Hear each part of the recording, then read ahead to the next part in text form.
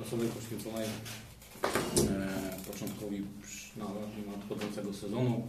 E, Wiemy, że e, nasz klub będzie występował na poziomie trzeciej ligi po wycofaniu się zespołu Pelika- Pelikana Niechanowo.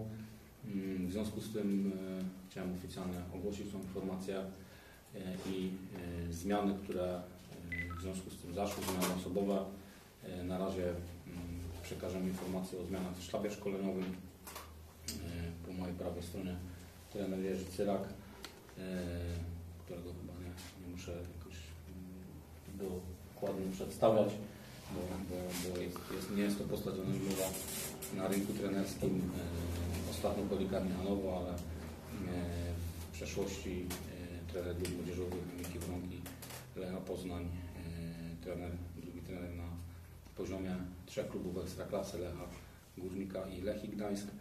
E, I trener Cyrak będzie pełnił funkcję pierwszego trenera w nadchodzącym sezonie.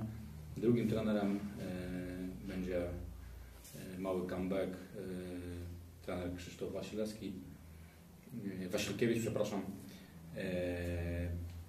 Po mojej lewej stronie Dawid Frąckowiak, który będzie pełnił w nadchodzącym sezonie funkcję menadżera pierwszego zespołu, funkcję, która będzie e, jakby dotyczyła wszelkich spraw związanych z pierwszym zespołem, od spraw organizacyjnych poprzez sprawy kontraktowe e, i tak na tą chwilę to wygląda.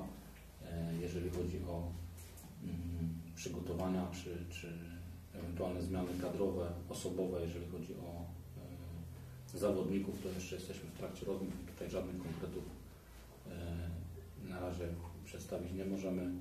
Myślę, że do końca tygodnia czy do początku przyszłego tygodnia, a najpóźniej ta sprawa się rozwiąże.